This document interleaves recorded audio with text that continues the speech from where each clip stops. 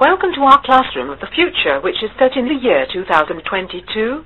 During this digital presentation, we will be taking you through the features within our mobile classroom, which include a roof terrace, chairs, desks and pods, 3D tables, handheld PCs, interactive displays, a class wiki, transparent opaque windows and mood lighting and ability classes. Technology is continuously changing and affecting the world around us. We are going to be exploring what the impact is within education and what innovations can mean for teaching and learning.